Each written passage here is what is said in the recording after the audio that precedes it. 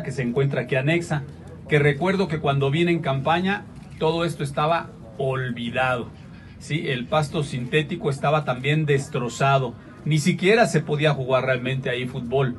Estaba, era una cancha realmente de alto riesgo, en lugar de hacer una cancha y un espacio público en donde podamos, por supuesto, aprovecharlo para el disfrute de todas y cada uno de los poblanos.